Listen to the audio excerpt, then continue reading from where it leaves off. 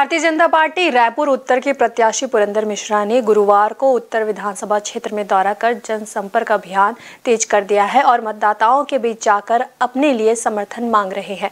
विधानसभा 2023 चुनाव में प्रत्याशियों ने कमर कस ली है और सघन जनसंपर्क प्रारंभ भी कर दिया है। इसी कड़ी में रायपुर उत्तर विधानसभा से भाजपा प्रत्याशी पुरंदर मिश्रा भी प्रचार प्रसार में पीछे नहीं है। भाजपा के रायपुर के उत्तर के प्रत्याशी पुरेंद्र मिश्रा गुरुवार को क्षेत्र में आयोजित बैठक में शामिल हुए, जहाँ मंडल सदस्यों और पदाधिकारियों ने गर्मजोशी से उनका स्वागत किया है। इस दौरान मिश्रा ने कहा है कि क्षेत्र की जनता ने भ्रष्ट कांग्रेस सरकार को उखाड़ फेंकने का संकल्प लिया है। बहुत बढ़िया प्रतिक्रिया है। सौ प्रतिशत हम जीत रहे चुनाव। इसलिए वो कांग्रेस अभी घोषणा नहीं कर पा रही है अपने प्रत्याशी डर के मारे। बहुत अच्छा है मेरे कार्यकर्ता उत्तेजित है उत्साहित है और ईट से ईट बजाने के लिए तैयार है। निश्चित हम उत्तर विधानसभा को जीतेंगे और विधानसभा में जाएँगे और प्रधानमंत्री आवास की समस्या पीने के पानी का समस्या सब करेंगे। पाँच साल तो कांग्रेस सोया था कुछ काम ही नहीं किया। आप जनता के बीच में जा रहे तो क्या प्रमुख मुद्दे जनता बार बार आपको बोल रही है कि ये समस्या है वो समस्या है उसके बारे में पहले बता दिया जी। प्रधानमंत्री आवास घोषणा के बाद, प्रधानमंत्री की घोषणा के बाद, पैसा भेज देने के बाद भी यहाँ की सरकार ने उसको छुपा के रखा है, नहीं दे रहा है। पानी का पैसा स्वीकृत हो गया, नल जल का, उसको नहीं बना रहे। तो जनता को क्या चाहिए? रहने का मकान जो प्रधानमंत्री जी वो दे दे, स्वच्छ पानी दे दे, शराब बंद किया था, वो बंद कर दे, कुछ तो किया नहीं। खाली एक ही लाइन कर रहा है। किसानों को किसानों को, अरे किसानों को भी वही पैसा दे रहा है, जो नरेंद्र मोदी तेरे को भेजे तू क्या दे रहा है?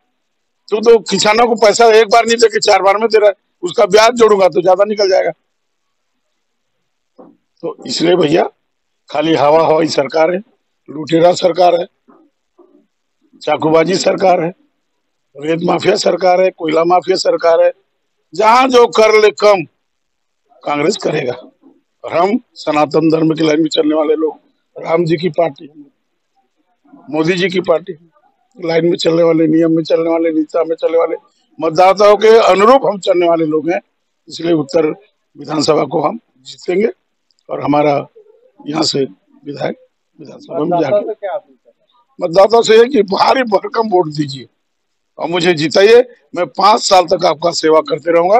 कभी शिकायत का मौका नहीं दूँगा। क्योंकि लगातार आप दौरे पर है तो कैसे प्रतिक्रिया मिल रही जनता से?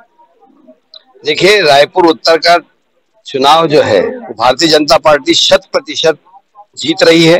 कारण बड़ा साफ़ है कि कैंडिडेट सब लोगों के बीच में एक अच्छे व्यवहार के साथ में मिल रहे हैं, जुल रहे हैं और लोगों के प्रति सब जानते हैं कि सनातन धर्म के प्रति समर्पित व्यक्ति।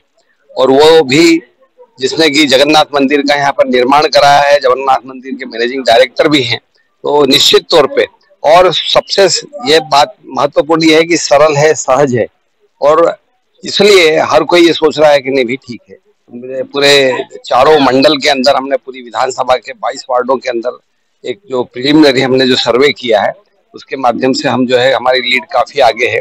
कांग्रेस तो अभी तक अपना प्रत्याशी भी घोषित नहीं कर पाई है। ये हमारी सबसे बड़ी जीत है। कांग्रेस का पाँच साल के कार्यकाल को किस रूप में देखते हैं? कांग्रेस का पाँच साल का कार्य जो है सिर्फ़ कार्यकाल में यही था कि नमस्ते चौक बना दो और खेल खत्म। यानी छोटा भी काम किसी भी इंसान का, ऐसा एक भी इंसान नहीं है जो बोल सके कुलदीप जुनेजा जी स्वयं जो है हाउसिंग बोर्ड के चेयरमैन रहते हुए, जो 200 करोड़ के घोटाले के अंदर फंसे हुए हैं, बहुत ही बुरी स्थिति के अंदर है और वो अब सिर्फ़ नमस्ते नमस्ते करते करते लोग बाग उनको नमस्ते न्यू वीडियोस की अपडेट पाने के लिए सब्सक्राइब करें इंडियन न्यूज़ को और बेल आइकन को दबाएँ।